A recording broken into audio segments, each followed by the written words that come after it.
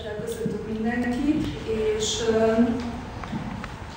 egy rövid előadással kezdeném a Huber módszer lényegéről, illetve arról, hogy mit is tanít ez a rendszer, amit én tanítok. És az előadás második felében lenne egy lehetőség arra, hogy konkrétan leteszteljétek azt, hogy mire jó ez a rendszer, vagy ez a módszer. Tehát ha van kérdés, ha van elakadás, ha van probléma, ha van megoldandó élethelyzet, akkor nézzük meg, menjünk bele, és nagyságrendileg el fogom tudni mondani, mit tud ezzel kezdeni a, ez a rendszer. Mielőtt belevágnék ebbe, először is szeretettel köszöntök mindenkit, és bemutatkoznék. Én Gosztonyi Tímea vagyok, és hát asztrológiát tanítok már több éve, de az asztrológiának a szeretete az hát egy régi régi szerelem, több mint 20 évvel ezelőtt kezdtem tanulni klasszikus vonalon. Tanultam Kaló Jelőnél, Gonda Istvánnál, Bertalan Évánál, utána nagyon szerencsés voltam, mert egy ajurvédikus iskolában Kus professzornak voltam a tolmácsa, aki védikus asztrológiát tanított. Tehát valamennyi betekintésem lett a védikus asztrológiának a lényegébe is.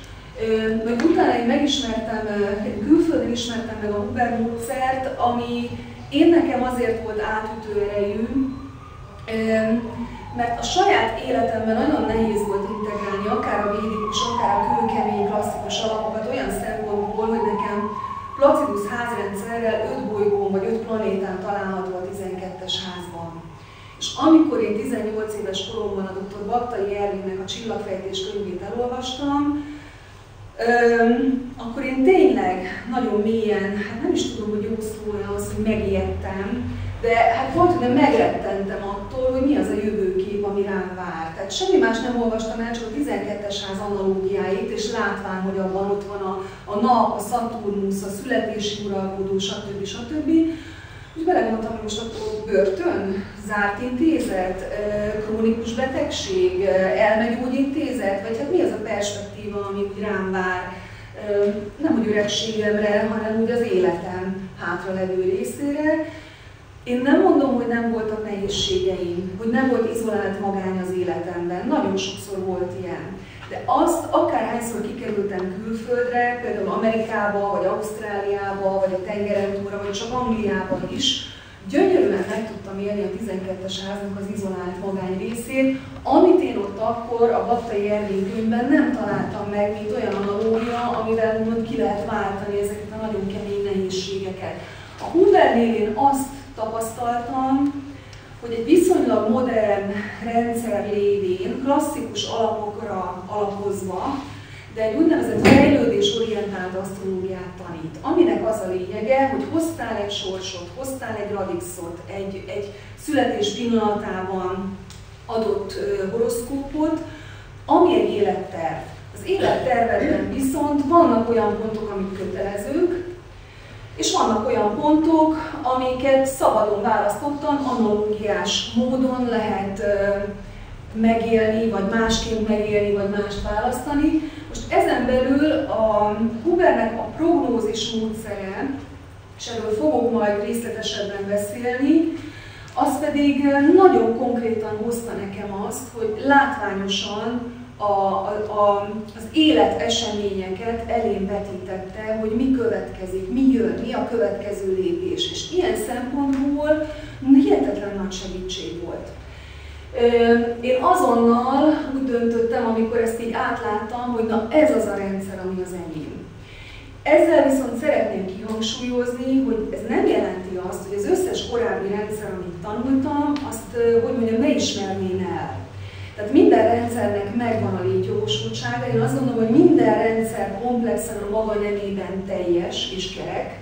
Az, hogy kinek mi lesz az, ami neki beválik, mint saját, az egy egyéni kérdés. Viszont minden út gyakorlatilag ugyanoda kell, hogy vezessen, meg kell, hogy értsem, hogy mi a feladatom, fogom érezni, amikor a sors a fejemre koppint, és nem arra felé tartok, amerre kéne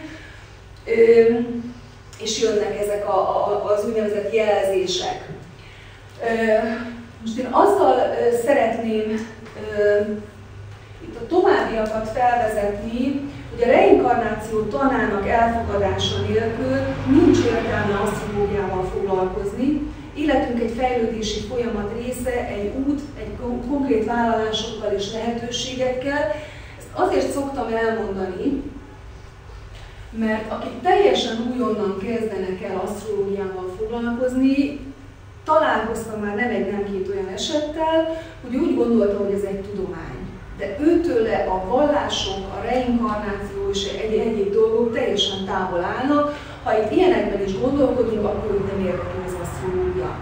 Azt gondolom, hogy nem lehet szétválasztani ezeket a dolgokat. A Huber módszernél konkrétan összkarma horoszkóppal is dolgozunk, ami egy külön a radisztól független horoszkóp, ami az összkarma lenyomatot is meg tudja mutatni, az az, hogy mik azok a dolgok, amik sok-sok élet óta belénk égtek, és ahhoz képest most merre felé kéne tartani. Nem lehet értelmezni, ha nem gondolkodom reinkarnációban. Van úgynevezett lélekhoroszkóp is a Huber rendszeren belül, ami a lélek akaratát tárgyalja, és ahhoz képest a, a Földön vállalt feladatokat ö, nézi, hogy gyakorlatilag ütközik-e a lélek akarata a földi tettekkel, illetve a lélektársi találkozásokat szoktuk tudni megnézni, illetve azt, hogy mikor kapunk igazi ég és fenti segítséget a felső énemmel, mikor tudok igazából összekapcsolódni, találkozni. Ez is egy furcsa dolog lehet, ha valakinek nincsen spirituális, hogy mondjam, hozzáállása a dolgokhoz, vagy elmélyülése.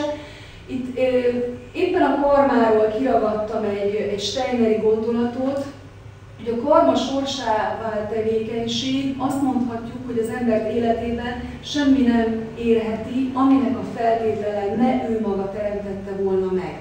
A test, a lélek és a szellem hármas együttese Steiner szerint az ember, ezek mindegyike ismét három részből áll. Így az ember lényének kilenc része van. A testet a szellemmel a lélek köti össze, a szellem örökkévaló, a testiségen a fizikai világ törvényei szerint halál és a születés uralkodik, a lélek pedig tettekből sorsot kovácsol, és a testet és a szellemet így vezeti egymáshoz. Amikor egy radixot tárgyalunk, és rögtön mutatok egy horoszkópot, ez egy születési képlet, valakinek a horoszkópja, akkor ha én bármelyik pontjáról kezdek el beszélni ennek a képletnek, három szinten fogom tudni tárgyalni. Például ragadjuk ki ezt a 9-es házas oldat, ami itt csücsül, fogok tudni róla beszélni fizikai síkon, érzelmi síkon és szellemi síkon. Mert hogy három különböző szinten élhetek meg egy hold állapotot saját magamon belül.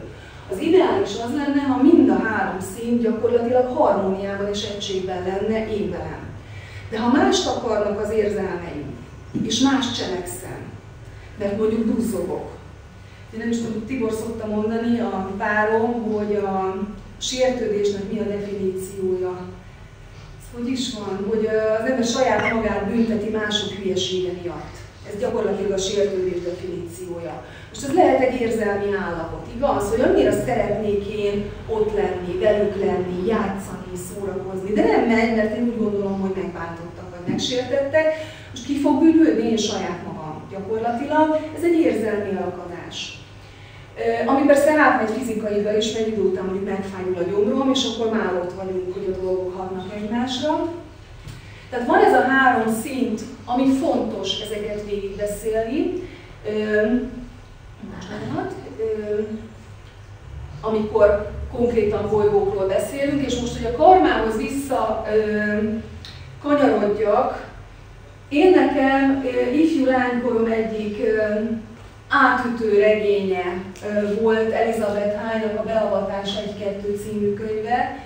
Én itt értettem meg azt, hogy gyakorlatilag a reinkarnációnak milyen mélységei vannak, és hogy milyen szintekről lehet úgymond visszaesni, vagy hanyatlani, vagy újrakezdeni. Ugye minél magasabbra jutok el, és mondjuk hibázok, annál nagyobbat fogok tudni zuhanni lefelé. Tehát ezt nagyon sokszor leírják a, a mesterek, hogy a tudatlan ember, ha nem is nem tud róla és bűnt követel, az egy dolog, ha tudom már, hogy mit követek el, és tisztában vagyok a védkeimmel, akkor ez egy sokkal nagyobb bűnnek számít. Nekem nagyon sokat adott a könyv, úgyhogy ezért raktam föl, ha valaki szeretne fejlődni, mindenképpen szerezze be. Ez, egy, ez az új kiadás itt középen. A régi kiadásban egyes kettes volt, az újban, jól tudom, akkor már csak egy kötetben van a kettő. A radix kapcsolatban ugye, ami egy fénykép az égboltról a születésünk pillanatában, elmondhatjuk azt, hogy egyfajta diagnózis. A diagnózis itt azt jelenti, hogy a radixból konkrétan kódokat tudok leolvasni, hogy az illető mit tervezett be erre az életére. Ez lehet már önmagában is egy hatalmas segítség, nem csak egészségügyi problémákhoz diagnózis egy radix, az élettervhez, a megélésekhez, a fejlődéshez, mindenhez egy gyakorlatilag egy térkép. Humbernek van egy nagyon-nagyon jó sémája, ahol ő a tudatos térfelet és a tudattalan térfelet a horoszkópon belül még két-két részre osztja, ugye az én oldal és a te oldal fényében, és önmagában már csak az, hogy valami a tudatos, vagy a tudatalatti, vagy az én és te oldalra kerül, önmagában meghatároz bizonyos viselkedésmodelleket. Ezt, a jól emlékszem, a második órán tanuljuk a tanfolyamon, az egyéves iskolában. Aztán vannak a házrendszerek, a 12 életterület, ami nagyon komolyan egy lehetőségek tárházát nyitja, hogy én a bolygómat, ahová helyeztem a horoszkóba, amelyik házba, azon az életterületen fogok tudni működni, mintha egy sinem vagy pályán működnék. Most már nem sinem működünk, hanem autópályán eh, járkálunk, ezt értik azok, akik ismerik az Angyal Emberek című könyvet. Ha jöttök hozzám iskolába, akkor első alkalommal el fogom mesélni, hogy ez micsoda. És amikor megvan a diagnózis arról, hogy mit hozott az ember életfeladatként, milyen tervei vannak, akkor lesz értelmezhető az úgynevezett prognózis. A prognózis a jövőbe látás művészete. Azt jelenti, hogy most éppen mi aktuális neked az életedben. Most mitől érzed jól vagy rosszul magad. Most milyen feladatokat hoz a sors. Aki szembe jött ma az utcán, az milyen üzenetet hozott neked. Ha nagyon le akarom egyszerűsíteni, akkor két prognózis mutatónk van, azon kívül, hogy dolgozunk tengelydirekciókkal, dolgozunk tranzitokkal, azon kívül egy úgynevezett életóra, karmaóra rendszer jön be prognózis módszerként, ahol az életóra elindul az aszcendensnél a születés pillanatában, és 72 év alatt körbejárja az ekliptikát. Ez ugye egy általános ö, életutat ír le mindenkinek az életében. Ezt hasonlíthatnám a glánkörhöz, ezt azoknak mondom, akik tanultak más rendszerekben, de mégis más. És gyakorlatilag aranymetszés szerint Bruno és Louis Huber nem csak, hogy megalkotta a rendszert Roberto Assagioli-val, Assagioli-nak a klinikáján Firenzében, hanem 40 évig tesztelték ezt a bizonyos rendszert Assagioli klientúráján. Ez egy nagyon komoly, 40 éves munka volt, amit ők végigcsináltak. Ennek fényében a házrendszereket is végigpróbálták. Próbálkoztak az egyenlő házas rendszertől kezdve a Placidus, Regiomontanus, stb. rendszerekkel, és az egyik legújabb házrendszer, az egyik legmodernebb, ám de legpontosabb téridő pillanatra leosztott házrendszer, a Koch házrendszer lett az, amely hónapra, illetve hétre pontosan hozza az életeseményeket, tehát mi ebben az iskolában Koch házakkal dolgozunk, és ha meg akarom érteni hogy mit akar az életóra és mit akar a karmaóra, akkor spontán dolgozhatok analógiákkal, tehát látom, hogy fényszögel egy égitestet, akkor fogom látni, hogy az hányas házban, milyen jegyben, milyen fényszögekkel bír, és nagyjából mit hozhat. Ez egy általános dolog, ezt úgy is hívhatnánk, hogy ez az úgynevezett bevált indikáció. Vagy én szoktam receptnek is hívni. Rengeteg receptes könyv van a piacon, hogy én felütöm, hogy a hatos házas nappal mi a teendő, és akkor leírják nekem, hogy mit kell csinálni a hatos házas nappal. És ez az a dolog, ami vagy működik, vagy nem. Ugye majdnem minden recept igazából nem individualizált, tehát nem teljesen az egyénre szabott, mert nem nézi a másik kilenc testet, és azt is kéne nézni a rendszerben.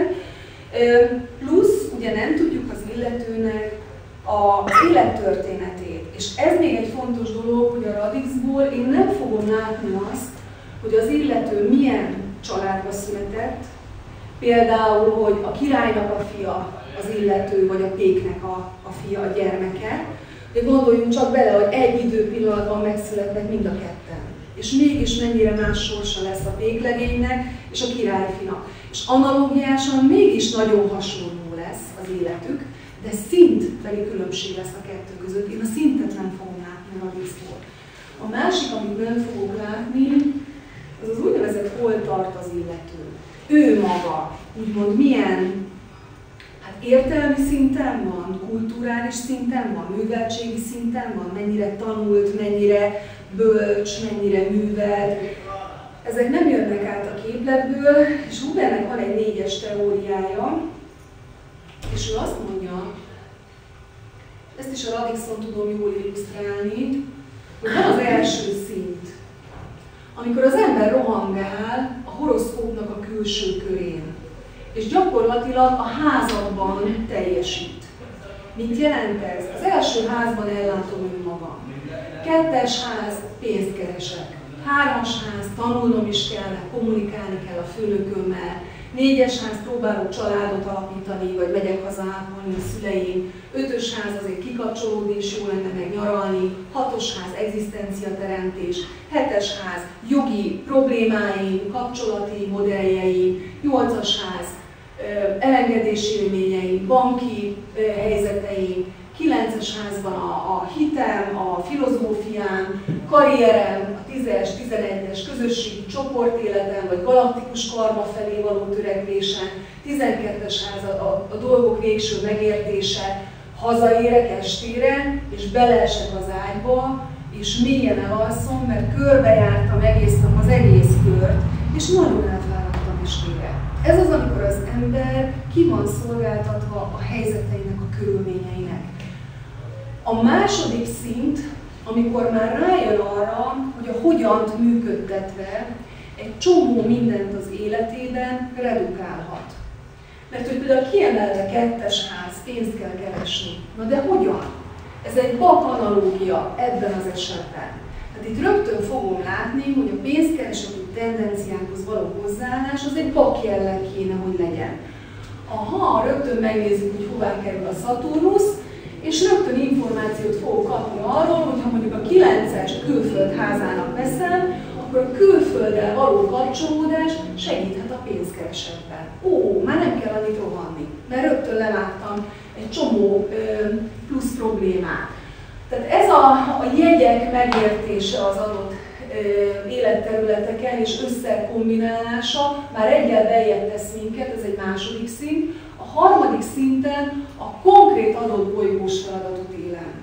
Ja, hogy nekem most tengelydirekcióban aktív ez, életóra karmaórával ezek, és egyébként a tranzit azt hozza, hogy akkor most erre fókuszálok. Itt az adott bolygós feladatra ö, ráhangolódva már megint bejebb léptem, és tudatosabban tudom élni az életem. A negyedik szint pedig az, hogy belülök középre, és nem megyek sehova. Egyszer ülök középen, és nézem, hogy mi történik körülöttem. Ki hív föl? Ki milyen e-mailt ír? Válaszolok? Nem válaszolok?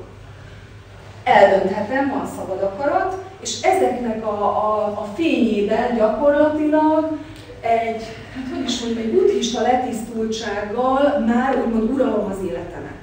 Tehát valahol az lenne a cél, hogy mindannyian el tudjunk jutni oda, hogy még a nehéz helyzetekben is kvázi uralni tudjuk azt az adott helyzetet, tehát ennyit a szintekről.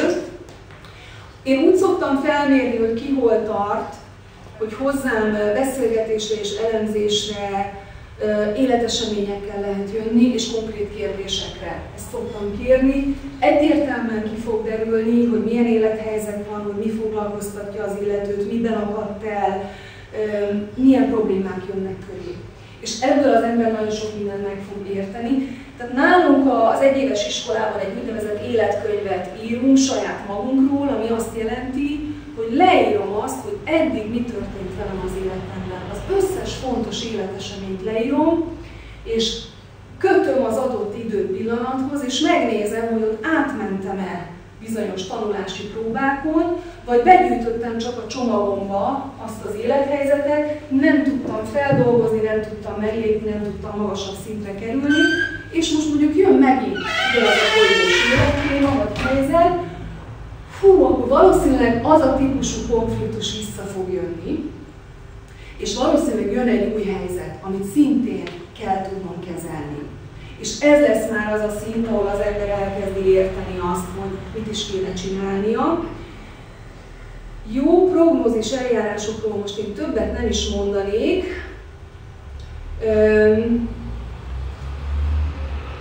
A, ha megvan a probléma elakadás vagy adott helyzet, amit szeretnénk magasabb szintre emelni, akkor az analógiás gondolkodás szerint egy másik hasonló helyzetet generálok, és ezáltal úgymond megetetem, vagy felülmérgezem a, az illetőt, vagy az adott élethelyzetet, akinek kiváltódik, vagy meggyógyul az adott problémája. Mondok egy példát.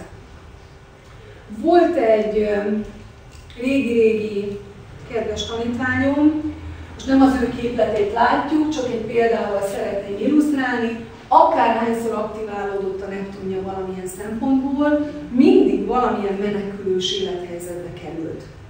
Gyerekkorában fölült a bicikliére, és átment a következő faluba, és onnan hozták haza.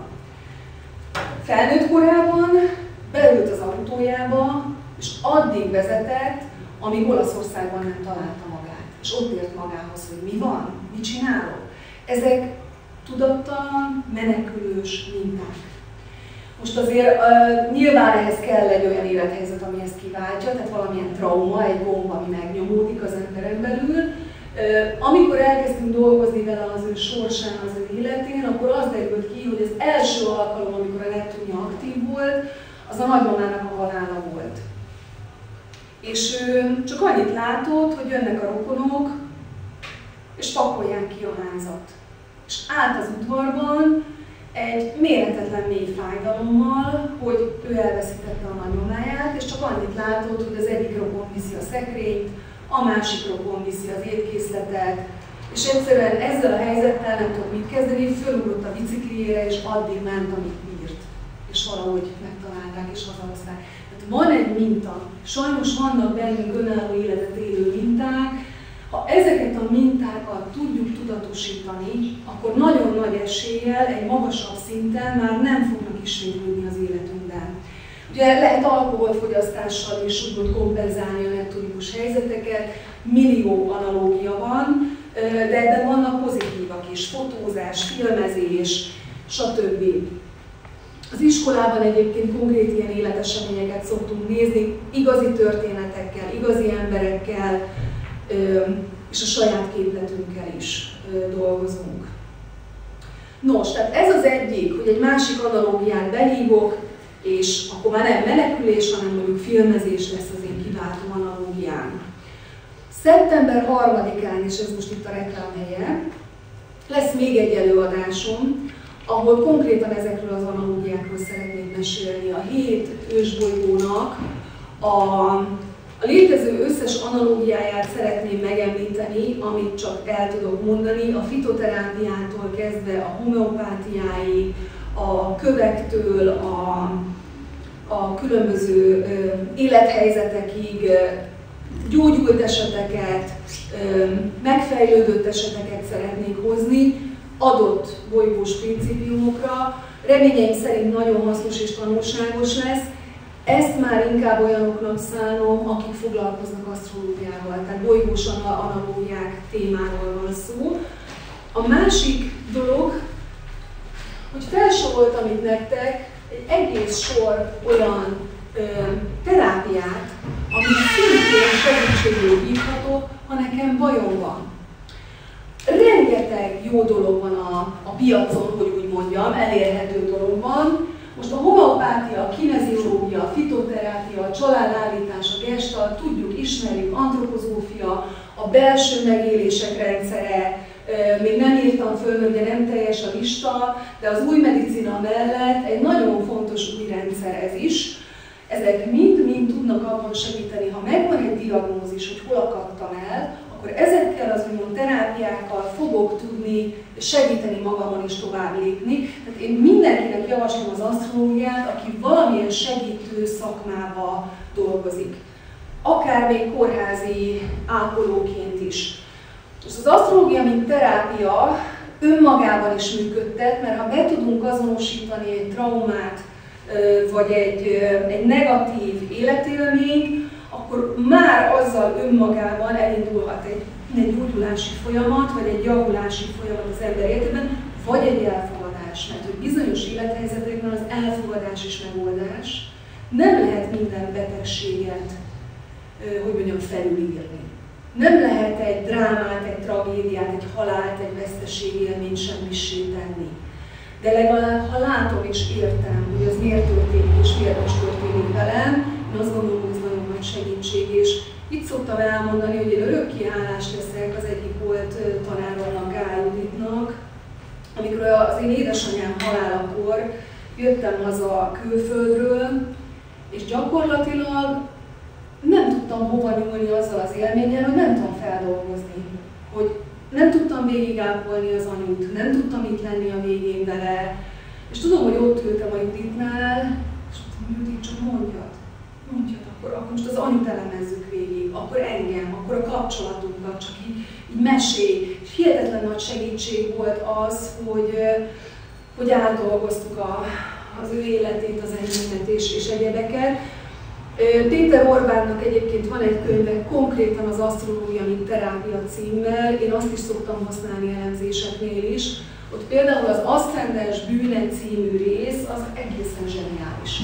Hát én nem mindenben vagyok Péter Orbán hát rajongó, nem minden egyes tanításával értek teljesen egyet, de ez a könyv nekem nagy segítség volt. Tehát amikor nem tudom elmondani valakinek, akkor oda megyek a polchoz, leemelem ezt a könyvet, és fellapozom, és azt mondom, hogy Péter Orbán azt írja, hogy a rák aszcendens bűne az, hogy, és elkezdem olvasni. Döbbenetesen kegyetlen, ami oda le van írva, és akkor ilyenkor nem az van, hogy én szívom azt, aki velem szemben ül, meg én most valami nagyon nehezet, meg csúnyát mondok, hanem hát az asztrológiai szakirodalom azt mondja erről a helyzetről, hogy. És akkor értjük, most kilalata egy példát, de az összes többi aszcendensnél leírja a legkőkeményebb, hát hogy mondjam, önzéseket, működési modelleket, stb. Jó ezzel szembesülni. A, jó, én most itt meg is állnék, mert megy az idő, itt analógiákról tudnék még hosszasan mesélni, de inkább azt szeretném megkérdezni, hogy volna kedvetek kipróbálni a gyakorlatban, hogy hogy néz ez ki. Hogy nézhetünk-e képletet, konkrét élethely, és adtál egy képletet saját? Vagy jó, mi a kérdésed, mi a... Munkával kapcsolatban lenne a kérdésem, hogy mi lenne a feladatom, mi lenne az ideális munka, mit, mit gondoltam, hogy kellene csinálnom. Jó, ez egy nagyon letisztult, konkrét kérdés. Az asztrológus, ha munka témát vizsgál, akkor nézi a hatos házat, mert ez az a munka a háza. És nézi a tízes házat, mert ez a hivatásnak a háza. És azt látom, hogy a hatos ház üres. És mi van olyankor, amikor nincsen planéta egy házban? akkor azt mondja az asztrológia, hogy gyakorlatilag azon az életterületen részben szabad az illető, tehát konkrét bolygós feladata nincsen. Részben ugye tudom vizsgálni a tendenciákat úgy, hogy megnézem, hogy a hatos ház pika, és megnézem a Vénusz hová kerül. Tehát, hogy milyen típusú munka lenne jó neki, vagy való, azt, ezt így fogom tudni lekövetni és vizsgálni, és konkrétan fogom látni, hogy egyetlen egy fényszöge van ennek a 12-es házas Vénusznak, a Skorpióban, Szaturnusz kvadrát. Ami nem szokott könnyíteni. Tehát a munkával kapcsolatos témák, ha már munkát nézek, akkor egy 12-es házba kerül, ami az okkult magányterülete. Elfordult ház van a horoszkópban, a 6-os, a 8-as és a 12-es. Mindegyik többet akar a látható fizikaiségnál. A 6-os a karmaháza, egészségbetegségház, és olyan élethelyzetek háza, ahol konkrétan alázatot tanul a szülött. A 8-as úgynevezett halálház, vagy transformációs ház, vagy veszteségélményház, 12-es pedig a titkok háza, ahol a végső titkokat kellene, hogy megértsük valamilyen formában. Ennek eszköze a magány az elzártság.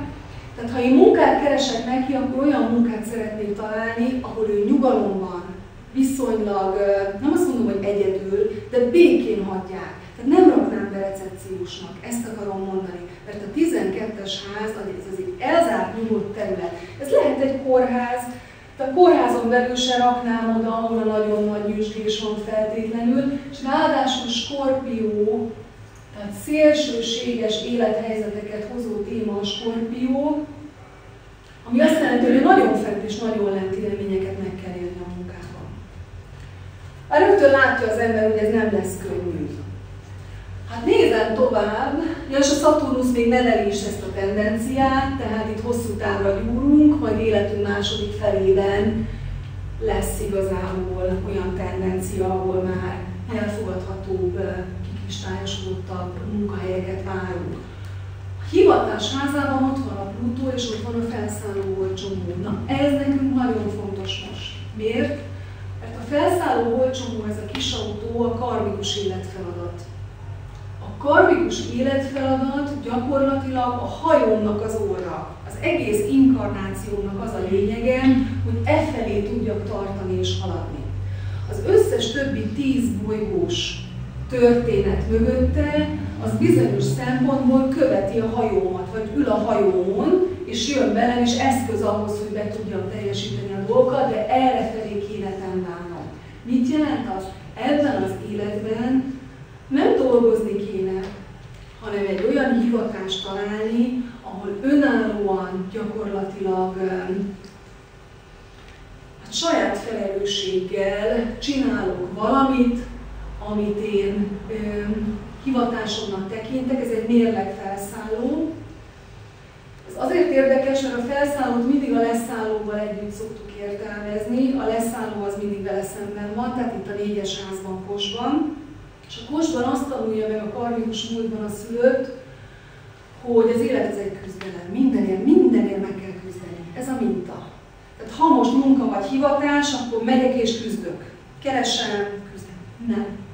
A mérleg minta, amit ebben az életben integrálni kell, az a kapcsolati tőke használata, a harmónia. Az, hogy én egy ilyen előadáson oda megyek a másikhoz, és azt mondom, hogy szia, hát téged is érdekel az asztrológia? Hát hogy? És ott kiderült szimpatikus vagy nem szimpatikus, kiderül, hogy váltó telefonszámot, beszélgetünk, és rögtön már egyel több ember a tarsolyunkban, akivel esetleg tudok, mint kapcsolati tőke, mint kezdeni. A mérleg finomodást jelent és kapcsolódást. Tehát a magyarán akárhova mész, ott érdemes beszélgetni, beszélni magadról, kérdezni a másikat magáról. Most nem tudom, hogy ez mennyire könnyű vagy nehéz neked. Könnyű, hála Istennek. És akkor valószínűleg ezen belül az ember elkezdi nézegetni a mérleg szakmákat, vagy a mérleg jellegű hivatásbeli dolgokat. És hivatás alatt nem kell rögtön azt érteni, hogy orvos leszek. Tehát lehet hivatásként kezelni egy olyan dolgot is, hogy én nekem én egy boltban nagyon nagy felelősséggel dolgozom, és felelek az áruért, és én itt irányítom dolgokat, és stb. Ezt akarom mondani, hogy, hogy kell rögtön hatalmas dolgokra gondolni. És ilyen szempontból a Plutó, ami itt áll, mint 12-es házúr, itt is azért beerősíti, hogy a 12-es házat nem fogom kiadni a hivatásból sem. És akkor itt az lesz a kulcs, hogy meg kell értsük azt, hogy nagyon sok esetben az olyan típusú szakmák, amik segítő szakmák, akár asszisztens, akár eh, nővérke, akár valamilyen segítő szakma, az be, be tud vinni a 12-es háznak az izolált világába, ami nem lesz könnyű, de mégis egy nagy fejlődési terület. Én ilyenkor szoktam megkérdezni, hogy milyen jellegű munkát keresel, vagy mi az, ami téged érdekel, vagy milyen típusú dolgot csinálnál szívesen, mint hivatás. Tehát, hogy most nem olyan sok minden, az a Sok minden? Igen, igen, sok minden. Jó. Azért nem jó a sok minden nekünk, mert a hatos házura szaturnikus kötésben van. Szaturnusz meg azt mondja, hogy redukálni, redukálni, redukálni, kikristályosítani egy dologra. Jó, hogyha gyógyítás, akkor, akkor legyen egy főcsapás. Igen. Egy főcsapás. És ezt azért is megmondani, hogy úgy gyógyításon belül milyen fogokat? Hát mindenképpen keresném a, ezt a két tendenciát összeharmonizálnám, és ha mondasz konkrétumokat, akkor abból lehet, hogy el fogjuk tudni dönteni, hogy melyik az, ami. Mm, nincs konkrét. Nincs konkrét. Jó. Itt érdemes ugye listázni, hogy mikben gondolkodik az ember, és akkor abba belemegyünk, és akkor megnézzük, hogy na ebből ez tökéletes lenne a mérleghivatáshoz, és gyakorlatilag a hatos házas bikához, Skorpió, Vénusz a 12-esben meg fú, de nagyon illene a, a reflexológia, mondta valami. Tehát ezeket, ezeket nézi az ember. Jó, segítség ez eddig, vagy van még bármilyen gondolatot, kérdésed?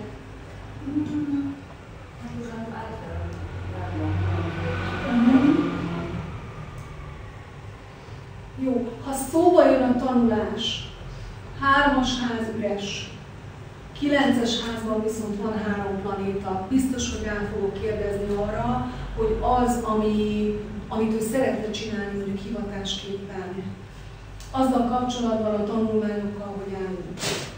Mert három planétával a kilencesben lehet, hogy előjön az, hogy autodidakta módon, vagy felsőfokú tanulmányok keretében, de valamit, valamit működtetni. Ez egy alap. A másik, amit ilyenkor az ember megnéz, hogy hol jár az életóra karma órája. És rögtön, rögtön látjuk, hogy a legfontosabb primér fényszög az a hetes házban járó életóra fényszögeli az első házas rögtön. Így célra gyökerek téma biztos, hogy előjön.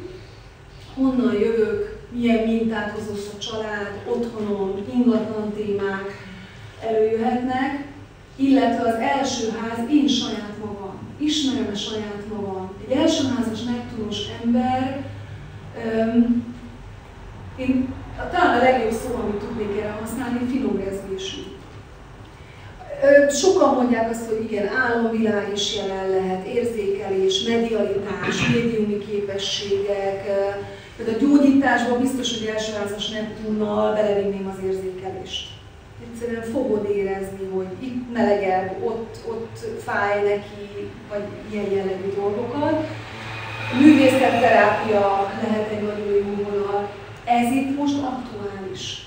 És ezzel biztos, hogy dolgoznék és kezdenék valamit. Például integrálnám az otthonomba, az én négyes házúr, van egy olyan otthonom, ahol a saját finomrezésű lényemet És nyugalom van. Van ilyen? Alakul. Alakul. Remek. Remek. Ilyenkor örül az asztrológus, mert akkor azt mondja, hogy oké, okay, már csak rá kell dolgozni.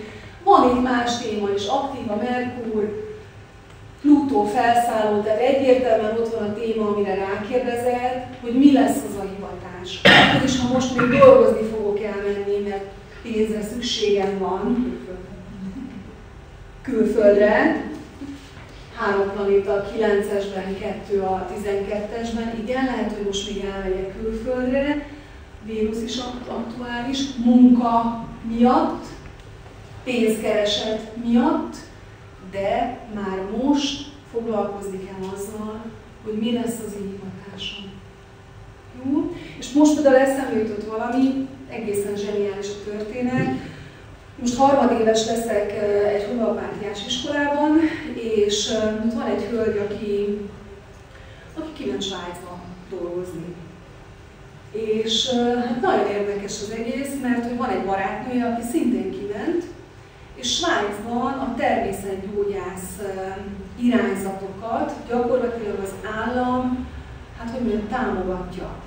Tehát amikor az ember betelefonál, hogy fáj a torkom, akkor el szokták neki mondani, hogy mit szeretne. Fitoterapeutát, homeopatát, masszőrt, nem tudom én mit.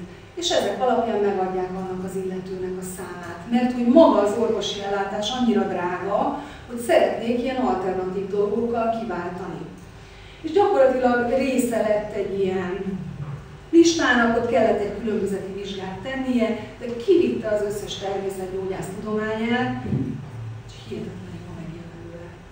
Tehát, hogy van ilyen is, mi lesz az én hivatásom, mi az, amit én szívesen csinálok, majd, ha már nem a pénzkereset, és ezek lesznek a, a lényeges dolgok az életemben, ezt már most el kell kezdeni feszegetni. A Vénuszi hivatásokban is majdnem mindig ott van.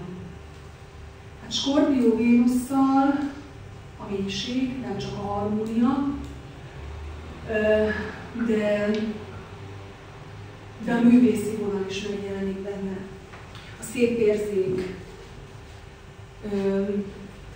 És akkor persze az ember ugye, ha egy kettesben lennék, akkor, akkor rákérdeznék, hogy mit csinálni érdek, és a többi, de nem akarom feszegetni tovább. Van-e bármilyen megosztani való vagy kérdésed? Egy-két dolog így nagyon durván betalált, Örülök neki. És azt szeretném, hogy értsétek, hogy nem így dolgozunk.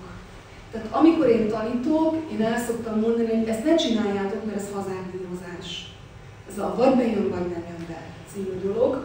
Az embernek van már egy nagy tapasztalata, több száz meg ezer horoszkópon túl van, akkor elég nagy az esély arra, hogy betaláljon dolgokkal nem fogod tudni megúszni azt, hogy feldolgozd az életed történetét, kianalizált eseményanalízissel, és effektív tényleg állás arra, hogy hol tart, mik okoztak neki traumát, mik az elakadása és a többi. És akkor fogsz tudni egy hiteles elemzést vagy beszélgetést tartani. Jó, léphetek? Köszönöm szépen. Ki, igen? Azt szeretném kérdezni, Kéme, hogy azoknak, akik most ismerkednének az asztrológiával, hogy nekik ugye messziről nagyon bonyolult ez, amit mondjuk most itt látnak, de hogy mi az útja, vagy te milyen utat jártál be, hogy a bolygók analógiáit, a házakat, a házak, a jegyeknek a jelentés, ez, ennek a kombinációja hogyan állt össze meg a fényszögeké? Hát, hogy jó, hogy... nagyon jó a kérdés. Az, hogy én egy hosszú utat jártam be, az azért nem mérvadó, mert azt gondolom, hogy nem kell egy ilyen hosszú utat bejárni. Én konkrétan állítom azt, hogy ez a fajta rendszer ez egy év alatt tanulható alapjaiban. Tehát meg lehet tanulni, igen, a házakat, a bolygókat, a jegyeket, a, a prognózis módszert egy év alatt. Nagyon sok iskola tudja ezt, nagyon sok iskola gyakorló alkalmakat, meg képletfejtő alkalmakat iktat be, ami nem hiába való, de az ugye mind idő, idő, idő. Én nekem az volt a tapasztalatom, hogy ebben a felgyorsult világban az időből van a legkevesebb. És nem egy, nem két olyan ember volt, aki, aki azt mondta, hogy hálás vagyok, hogy így összesülítetted ezt a csomagot, mert két hetenként egyszer találkozunk az egy év alatt, akkor négy órát együtt vagyunk, én elmondok egy anyagot, majd e-mailben a tanítványok után küldök még egy csomó pluszt, amit az elkövetkezendő két hétben otthon egyedül lehet olvasni, tanulni, felkészülni. Két hét múlva újra találkozunk, folytatjuk az iskolát, és ilyen módon gyakorlatilag egy év alatt én azt gondolom, hogy megtanulható az a rendszer, hogy alapok, radix kifejtés, prognózis, összkarbonhoroszkóp, és gyakorlatilag tengerdirekciók, tranzitok, képletfejtés. Úgyhogy ezt gondolom, nagyon, nagyon szeretném elindítani a második évfolyamot is, ami ennél jóval komplexebb lenne. A második évfolyamban szeretném erre az alapra ráhelyezni azt, ami már plusz értékű lesz, aszteroidákat, Kentauróban még gondolkodom, és álló csillagokat. Viszont amíg az ember a saját horoszkópjával, az alapokkal nincsen tisztában, addig azt gondolom, hogy ezek mind-mind-mind pluszok, amik valamire épülnek, és ezért, ezért a, az elsőt ajánlanám majd, hogy nem mindenkinek. Itt van egy Radix horoszkóp, amit most nem fogok tudni, nem fogok prognózisba belemenni, semmi egyéb dolgot megnézni, csak magát a horoszkópot látja az ember, és, és igazából el fogom mondani, hogy mi a probléma. És ezt is fontosnak gondolom, hogy amikor hozzám jönnek asztrológiai beszélgetésre vagy elemzésre, nekem mindig nagyon fontos az, hogy kapja konkrét életeseményeket az illetőről, illetve kérdéseket szoktam kérni, hogy mi a baja, miért jön hozzám, mivel akadt el, mire, mire keres válaszokat, ugyanis már a kérdések megfogalmazása is nagyon nagy segítség az asztrológus számára, hogy az illetőt mi foglalkoztatja. Mert ö, analógiás szempontból nagyon sok mindent ki lehet olvasni egy horoszkópból, de hogy az illető hol tart, és milyen jellegű problémái vannak, azt érdemes megkérdezni tőle. Most ebben a helyzetben vannak itt tanítványaim is, ha ránéztek erre a horoszkópra, kinek mi az, ami feltűnik? Mi az, ami érdekes, izgalmas? Mondja. Első körben három dolgot fel, az egyik, hogy nagyon legtöbb bolygóra az a tudatalatti része van. Így van. A legtöbb bolygó a tudatalatti szférába esik. Ez fontos, ez mit jelent? Hogy nem teljesen tudatos nála ezeknek a közvetése. Jó, tehát lehet ösztönös is, lehet gyakorlatias az illető, ez is nagyon fontos, ami jó vagy rossz? Helyzettől függ. Mitől függ? Mikor, hogy reagál le valami. Tehát az, hogyha valaki ösztönösen cselekszik, az lehet, hogy nagyon jó, ha éppen abban nem nagyon jó. Tehát nem kell átgondolni, hanem kapásból csinálni. Na így jönnek be azok a dolgok, hogy mi kódolódott a tudatalattiba. Ez egy hihetetlen fontos dolog.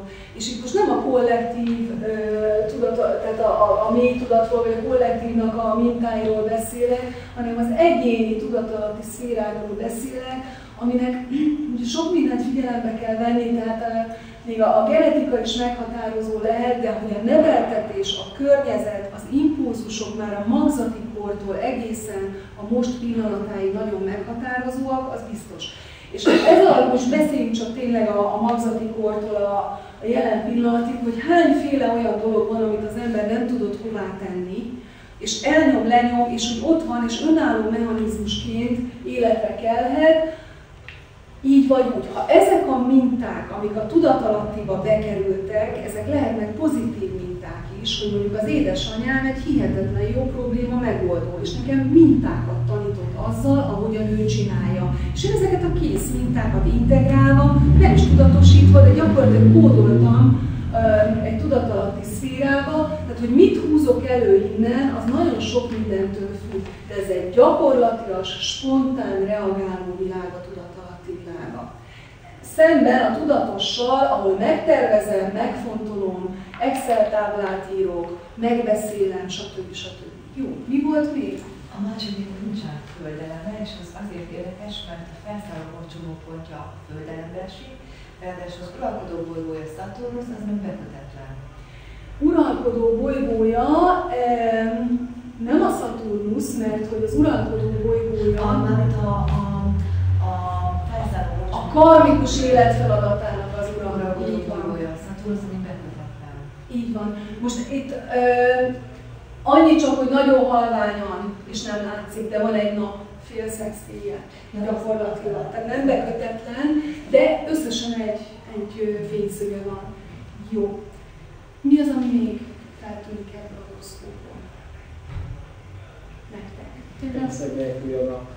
Hm? Pénzeg nélküli a nap napja, Szaporusszal van egy nagyon-nagyon halvány készület, de ezt majdnem fényszög nélkül gondolhatnánk, mert a napnak azt várná az asszony, és minél több fényszöge van, főleg a napnak, annál több impulzus fogja élni, annál több féle módon tanul meg reagálni nappal. Egy ilyen picike zöld fény, tanuló fényszög, ez, ez annyira nem biztos, hogy stimulál. Uránusz együttállása, ráadásul pont az első házban a személyiségét nagyon befolyásolja. Tehát egyrészt Hold gondolom az érzelmei dominálnak, nem biztos, hogy tud átgondolja, amit csinál, hanem érzelemből lereagálja, másrészt ott az Uránusz lehet, hogy hirtelen. Nagyon jó, nagyon jó. Ez egy uralmi hold, és gyakorlatilag első házban nagyon nagy mértékben meghatározza a személyiséget. Leszállóval együttálló pozícióban, ahol is gyakorlatilag haladunk a hajón orra, a karmikus életfeladat a felszálló, az a hetes házbak felé mutat, és itt pedig hirtelen impulzusok történhetnek az Uránusz hold együttállással, érzelmi alapon esetleg, vagy, vagy ez is lehet egy ilyen tudatalatti téma, ami feljön és előjön. Sok mindent lehetne még elmondani erről a horoszkópról, de nekünk nagyon fontos, mi a karmikus élet feladata? Párkapcsolat és a külvilág. Párkapcsolat, külvilág, nagyon jó. Abban gyakorlatilag hogyan? Hát ilyen bakmódon, belemenni. Milyen az, amikor a párkapcsolatunkba bakmódon megyek bele? kicsit van szolgálat, Korlátokat ide mondanám. Korlátokat ismerve. Korlátokat megismerve. Tehát a házasság területe meg fogja vele ismertetni a szaturnius dolgokat, ami lehet korlát, lehet fegyelem, lehet következetesség, lehet cél. Ugye a bakról azt mondtuk, hogy küldetése van. A bak az az odiátus jegy, aki iszonyú nagy erőkkel tart, és megy fel a hegy tetejére. Egy dologra teszi föl sokszor az életét, egy dologra koncentrál, tehát el kell jutni arra, hogy letisztítsa az energiákat. Ha a karmikus múlt az ellenpólusban, a rákban van, akkor milyen minták aktiválódhatnak, ami ösztönösen már megtanult minta? Családhoz való ragaszkodás. Például családhoz való ragaszkodás, vagy hát érzelmi dolgok, amiket vagy tudok kezelni, vagy nem, de uránikus módon, uránusz az ugye szabadság téma, függetlenség téma, függetlenedési mechanizmusokat indíthat be érzelmi alapon. Nagyon érdekes. Ha opozíciós tengely van egy horoszkópban, akkor ez a szembenállás vagy opozíció, ez lehet egy nagyon dinamikus erő, ami hajt, és gyakorlatilag a két pólust összeköti, és ha be tudok ülni középre, akkor mind a kettőt működtetem, vagy szétszakadok, beülök az egyik oldalra, vagy ide, vagy ide, és a másik oldalt projektálom, kivetítem valakire, vagy valamire. És hiába az én dolgom, az én planétám van de kívülről fogok kapni élethelyzeteket, amik tükrözik azt, hogy nekem mit kéne aktuálisan meglépni. Asztrológus elmélyült, elgondolkodott a horoszkóban, ennél azért több mindent szoktunk nézni, de csak megnézi, hogy mi a probléma. Van egyáltalán baja? Mert ha nincsen baja, nem fogom neki elkezdeni azt mondani, hú, látom, látom, milyen teljesítmény háromszögünk van, ez nem lehet könnyű. Tehát nem fogok ilyeneket mondani, mert azt fogom mondani, hogy remekül éli, hurrá! Remek, akkor a piros fényszög és dinamika és energia. Probléma az, hogy erős fordulat áll be a párkapcsolati tendenciában. Hirtelen fordulat. Elindul egy titok, titkolózás, ami addig nem volt jellemző. Úgy érzi, hogy férjének titkolt szeretői viszonya van. Ha individuálisan vizsgálom a horoszkópot, ugye a tiltott titkos kapcsolatot részben hol nézzük egy horoszkópban? 12-es ház. 12-es ház ura, hol van és mit csinál? Bocsánat, a volt tanítványaimat nyüstölöm, igen. Az ötös házban. Ötös házban van a Merkur. Így van, így van, így van. 12-es házul, ötös házban Skorpióban. Nagyon mély titok témákat köthet össze ez a, ez a dolog. Fényszögben mivel? Gyakorlatilag egy oldott opozíciónk van, a Hold-Uránusz együttállással, a Keironnal, és gyakorlatilag ez egy háromszöget hoz létre. Keiron összkarmasérülés, eleve párkapcsolatokat érinti.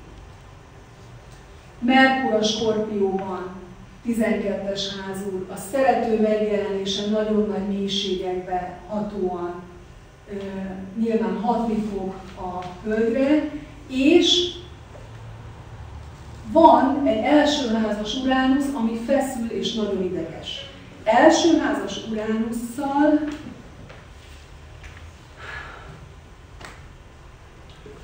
ha éli az illető, akkor mit lehetne csinálni az Uránuszát? Hát a szabadság planétájával. Egyébként az árulás planétája is részben az Uránusz.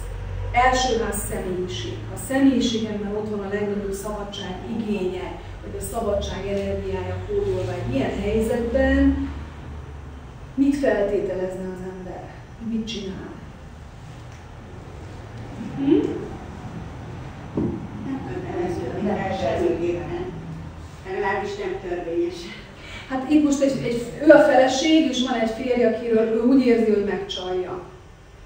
Akkor gyakorlatilag, ha ő a feleség, aki egy ilyen szituációba kerül, akkor elsőházas Holduránusszal feltételeznénk, hogy robban, nem? Egy ilyen helyzetbe. Hogy egyszerűen, hogy gondolja, hogy képzeli. És ehelyett azt látjuk, hogy ül otthon, molyol magában, egyre mélyebbre megy a problémájával, és nem robban, és nincsenek szabadulási mechanizmusok, és, és semmiféle kitörés nincsen, csak egyre rosszabbul érzi magát a bőrében. Magyarán az ember azt feltételezi, hogy van egy elakadás itt, és Uranus-Merkur trigon összekötésben gyakorlatilag az Uranus a Merkur magasabb oktávja. És ezt is szerettem volna elmondani, hogy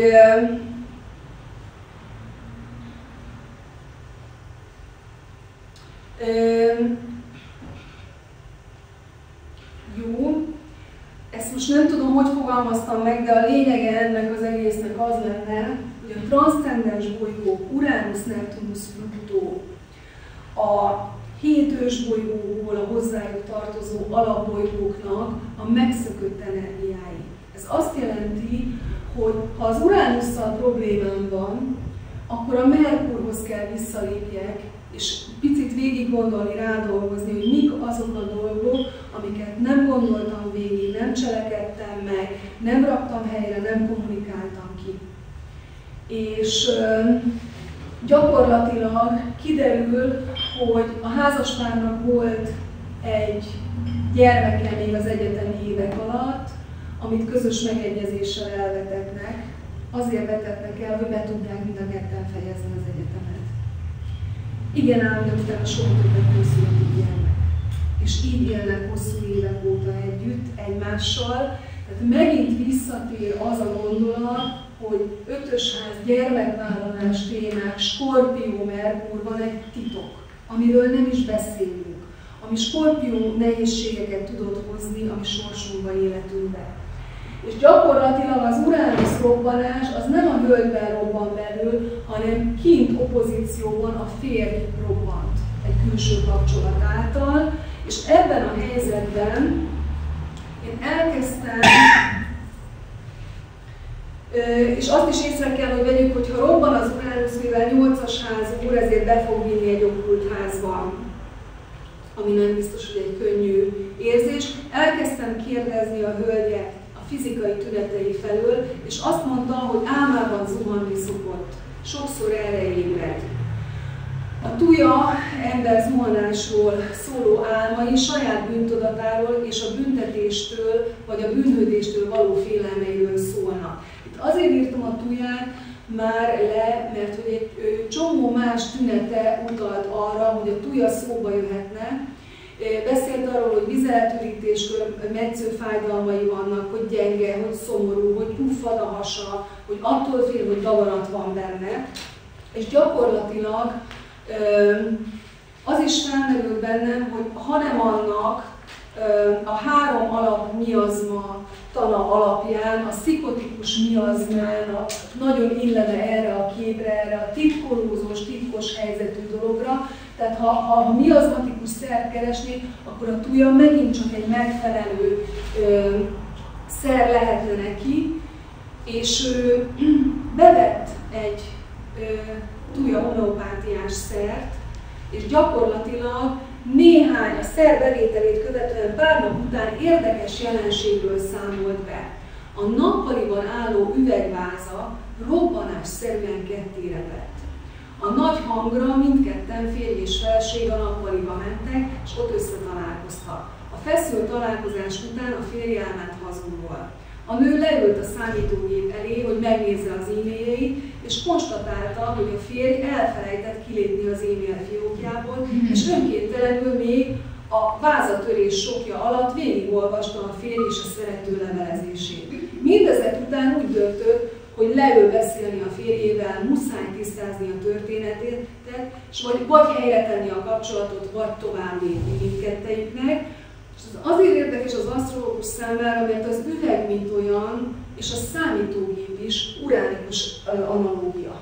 Tehát az a bizonyos uránusz, ami nem tudott felrobbanni, az itt a szer hatására gyakorlatilag, mint katalizátor felgyorsított egy helyzetet, megtörtént egy robbanás a váza, és az ki fog hatni kettejük kapcsolatára, tehát nem lehet többet nem beszélni a nem működő dolgokról, meg a, a szőnyeg alá söpört dolgokról, el kell gyászolni a nem megszületett gyermeket, kell a közös jövővel valamit kezdeni, és ezt azért szerettem volna bemutatni nektek, mert én azt gondolom, hogy szinte teljesen mindegy, hogy mihez nyúlok.